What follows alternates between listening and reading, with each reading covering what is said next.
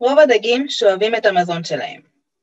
בזמן השאיבה, הדג מתקרב מהר לטרף, פותח את הפה. כך נוצרת זרימה של מים שגורמת לשאיבה לכיוון הפה.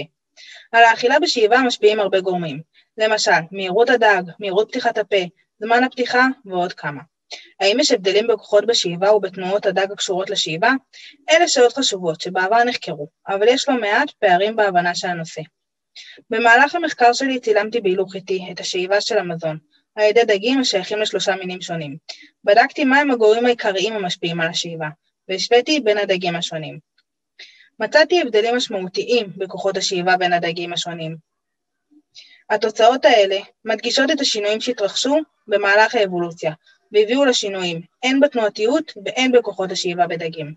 המחקר שלי יאפשר להעמיק את ההבנה של האבולוציה של הדגים.